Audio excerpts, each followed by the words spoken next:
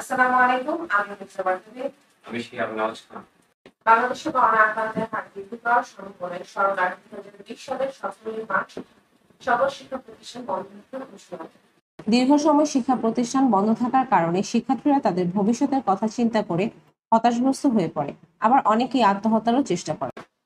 এমনকি আমরা নিজেরাও এই পরিস্থিতিতে যখনই বুঝতে পারলাম দীর্ঘদিন এমন অবস্থায় থাকবে। শিশু কিশোর ও যুবদের ভয় ও হতাশা আরও বৃদ্ধি পাবে ঠিক তখনই মনে হলো এর থেকে সরে আসতে সঠিক পরিকল্পনা গ্রহণ করা উচিত। কারণ ভাষা আন্দোলন থেকে শুরু করে দেশ স্বাধীন পর্যন্ত সবকিছুতে শিক্ষার্থীদের অবদান। এর থেকে বোঝা যায় একটি দেশের সবচেয়ে বড় সম্পদ শিক্ষার্থীরা।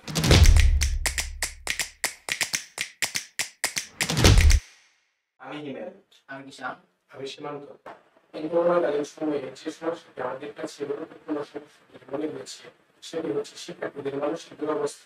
ওয়ার্ল্ড এক জরিপে শিক্ষার্থীরা এমআরএতে স্বাভাবিক জীবনে ছন্দপতনের জন্য সর্বশেষ তিনটি কারণে শিক্ষা কার্যক্রম ব্যাহত হওয়া সামাজিক দূরত্বের কারণে মানসিক চাপ এবং দারিদ্রতা বেড়ে যাওয়া শিক্ষা প্রতিষ্ঠান বন্ধের কারণে তারা নিজেদের শিক্ষা জীবন নিয়ে চিন্তিত তারা নিঃসঙ্গতায় ভুগছে।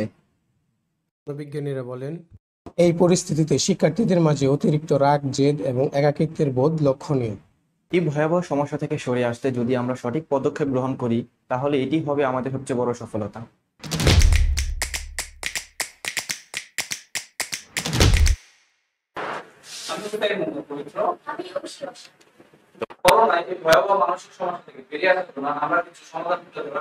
শিক্ষার্থীর জীবনে সর্বপ্রথম ও গুরুত্বপূর্ণ ভূমিকা পালন করে শিক্ষার্থীদের অভিভাবক।